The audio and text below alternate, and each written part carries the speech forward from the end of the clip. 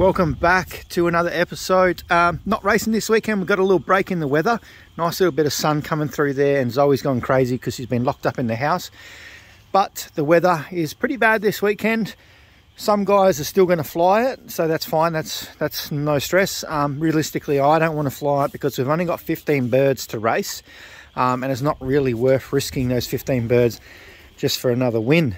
We've already done pretty well. We've got a third, second and a first and that's only in two races so I don't realistically want to prove anything but um, these guys will continue on out for some time. They'll go out all the way to um, hopefully 500 there's our little special hen there. Look at her looking good. Um, even though we've missed this weekend I may even consider on Monday that the weather's meant to clear up and I've got the day off. Um, take him out for a short 20 kilometer toss maybe. Um, see how they go. Oh she's a good looking little bird that one but uh, yeah, we'll just wait and see how the weather turns out. We may or may not. I am going to loft fly them as much as possible over the weekend. I may get them out now. It seems like the the rain's kind of stopped. Um, I've got some big storms coming in tonight and um, I don't really want to push the birds too much. It's um, pretty windy, but the birds should be fine. I just don't want to risk them because uh, I really want to go, keep going all the way out to four or 500 kilometers and see how we go but um, yeah, it's um, so far been pretty good season to be honest. I've enjoyed it. Um, the only big issue I've had is bird losses, and um, I do know where we might have gone wrong in a few spots there, but uh, we will continue on with the birds that we do have left. Now, who's in here crowing? You. He's only a baby. Um, so I want to get these guys out for a fly. It's uh, Friday afternoon. I want to get in here tomorrow and do a little bit of cleaning and just tidying up. I've um, got a few odd jobs to do, but um, I don't want to get too carried away. You can see, just got this section empty now. It's just one less section I need to clean. I want to get in here and have a bit of a tidy up. I am, like I said, there is some plans and these lofts have always been temporary lofts anyway. So hopefully this weekend I've got some time just to sit down and do a bit more planning. Uh, this section, actually this section you see here, um, was the original green loft that we built and had over here when we first brought the property. I just built that real cheap and easy just to see um, how it would go with having birds out here. Uh, so, you know, we've been here 12 months now and we really need to start thinking about, um, you know, more permanent, longer term accommodation. And especially, like I said previous videos, you know, there is some pretty crazy winds out here. We're in the open. So I do want to build something that, um, you know, if we do have really, really gale force winds, that, you know, I can lay in bed and not even have to worry about the birds. My biggest fear pretty much is coming out here and this thing has just ripped the bits and blown halfway down the paddock there, which, you know, the likelihood of that happening is very low. I'm just confused if this little hen is thinking she can pair up with me. She's kind of got a weird stance to her. See, you know, Don't say another one of those is... Anyway, we'll just see. But, um, yeah, let's get back to the loft building thing. I do like to build lofts, but I do need to really put a lot of thought into this next one. Um, I really want to build... Well, realistically, I want a young bird loft and then a breeding loft. Uh, but I want it lights, you know, preferably grated flooring all the way through because this stuff is fantastic. It's um, super easy to maintain and I just, yeah, I just really want to think about it a bit more. Um, change probably the trapping entry system, all this kind of stuff. But I don't want to go crazy and have massive big lofts. I just want, um, you know, a couple of really easy, kind of small ones, enough that we can have the birds that we need to. We'll just go and have a look at these breeders at the moment. Um, I want to get them out for a fly I think they'll go out for a short fly before we feed them. But um, we'll get all the cocks in. Come on, boys. And also have um, some really good, decent breeding boxes. Probably even the same length as this with some floor grills, everything in there. Um, so we can do some serious breeding. You just settle down there, buddy. Oh, look who's coming. Of course it's you. You want to come back over here, but I'm just about to loft fly you. All right, all right. Anyway, doing some drawing, some thinking about new lofts and things like that as well. Uh, I'll leave them like that. we'll go back over here, get these ones out for a fly. Um, this loft, yeah, it's it's not bad. Um, you know, this is my first big one. Um, it's more temporary than anything. That was always the way. I don't want to tread on you and squash my little champion. But um, yeah, we'll just see how we go with it. And they are playing around the wind, which is good to see.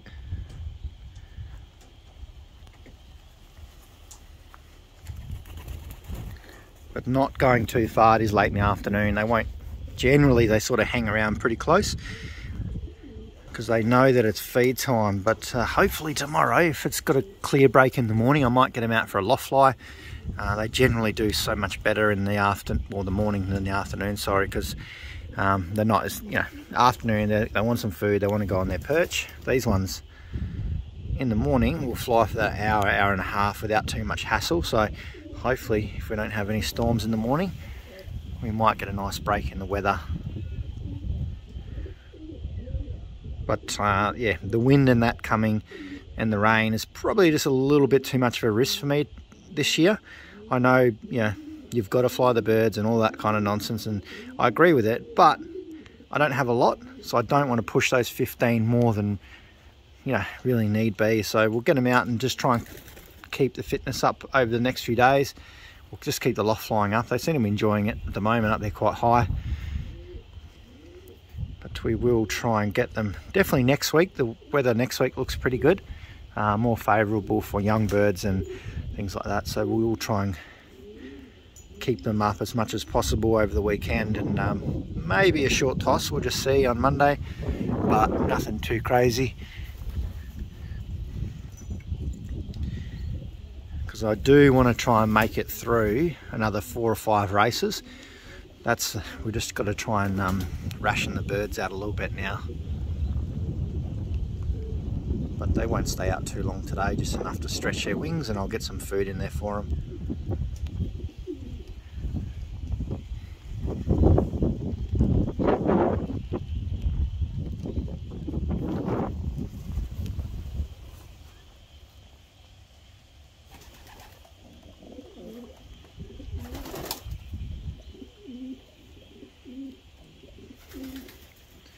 Why aren't you up there?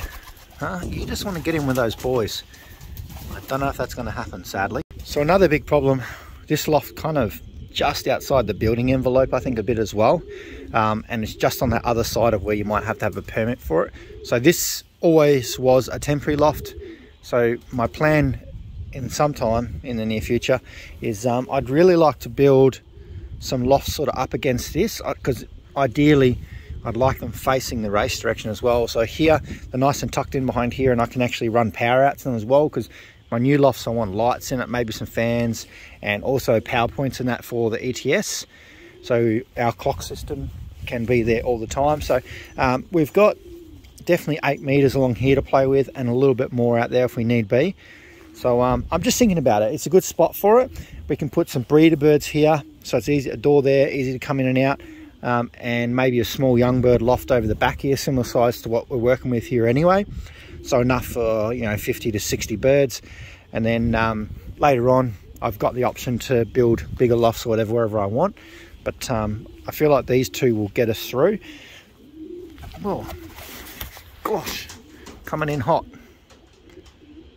Just have a quick look and see how the hens are going. I'm going to get in there soon and feed them. Um, this weekend's going to be a good weekend. I'm uh, not racing to get in here and tidy all everything up. Um, oh, here comes some rain. But realistically, I just like to have a big breeding loft with breeding pens all down the wall, two sections, can separate the hens and the cocks. Uh, especially if it went, I just want to breed all my young birds in a round or two. Um, so hopefully we'll see the birds are still flying around. I'm hoping for them to come in soon. Um, and I'm just trying to try and tidy up the backyard too. So we'll see but I definitely want some really neat and easy clean maintenance lofts anyway. I think they can't be too far off coming. They want to I don't know sometimes they really enjoy the rain.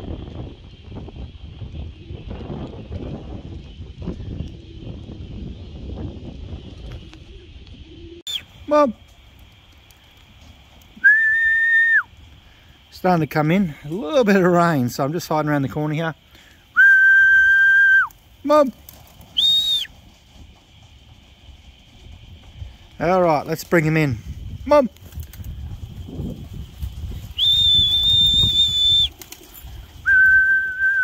Come on.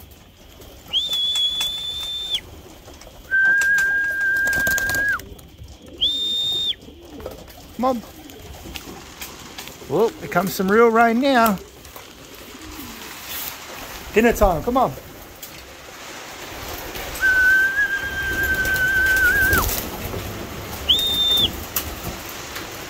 All right, a couple more up on the roof there. Here they come. I think they're just enjoying that rain. Here come the other ones. Whoop. Come on. Good on you guys. One more, come on. Who is that? Come on, don't be scared. Let's go, come on. What are you panicking about? You don't like the rain? Good job. Just opened up this other side to bring this other feeder in here, just give a bit of space. Um, like I said, I'm going to get in here tomorrow because um, I'm not going to race them, so I've got plenty of time.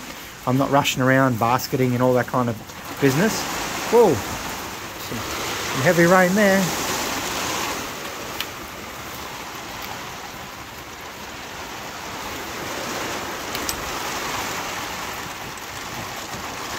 Away, two seconds later, and now we've got the sun again, so the weather is definitely all over the place. Uh, pretty windy and gusty too, so I think it's a pretty good idea that we do sit out this weekend because I don't think the birds really would enjoy this as young birds. This would be a good test, but uh, I need to sort of get some longevity out of this season because we've been taking a few heavy losses. So yeah, I think it's a pretty wise idea. Very funny. I'm just sort of waiting for them to finish eating. So a lot of these hens at the moment are sort of like a little switches flicked on as well. Same as the cocks, um, that it's they know it's getting close to breeding. They want to breed right now, which is which is interesting. It's always the typical barless hen there, and also the little hen that's been doing pretty well. But there's a few other hens starting to go across here now as well, especially young ones, which is interesting. So um, I've just been sitting back watching to see who's interested and what's going on because um, you know sometimes we could probably use that and I just found out that one of our birds from Shock is actually a cockbird, which is interesting because when we first got Shock, we thought he was a hen. So look at all the hens coming across here now. I know all these are hens, but they want to get in there, which is interesting because it is a little bit of motivation, I think. They know that there's cocks here they want to breed, um, which is yeah, which is good because these hens still got a little bit more to go both that checker and this blue bar. So the checker's the mother and the blue bar's the daughter, which is very interesting. Like I said before, I've got the tough hen and her mealy daughter, and this one and her daughter are still here. So it could be, um, I'm gonna keep an eye on it and just see, like if they do well, then obviously they are producing little babies that do well as well. So I'm just gonna keep an eye on it. Doesn't really mean anything, but if I'm not losing birds and you know the mums and the daughters and sons and stuff are still here then obviously we are on the right track. We've just got a lot more speed to get into them. But um, there's our little I really like this little blue bar hen anyway. She's really nice. She's um she's oh here we go. So here's the checker. We'll get back to that blue bar in a second. So this is a little checker that I thought was a hen it's actually a cockbird. He went on one race but he pretty sure he turned out the day later. But he has just like a switch he's flicked on and now he's chasing hens. So interesting. I wonder who else is going to come out and um, surprise me that way. It's hard to tell with the shock ones. Like um, even Adam was a little bit confused by him too, but um, so was I. And I'm confused by some of these babies, so I'm going to keep a close eye on this one. If he can make it through the races, geez, he could be pretty useful to our breeding program. But uh, I just like sitting back and watching all these cocks and hens carry on. It's just hilarious. It's entertaining. The cocks are showing off and you know which hens are interested in getting close, ready to breed. Um, and at the same time, it's, you know, it's helpful if you want to do motivation because you know that we can start utilizing that, you know, sexual, well, the mating. They just want to mate. They want to have babies. We use that as their um, bit of motivation. So we'll see how we go.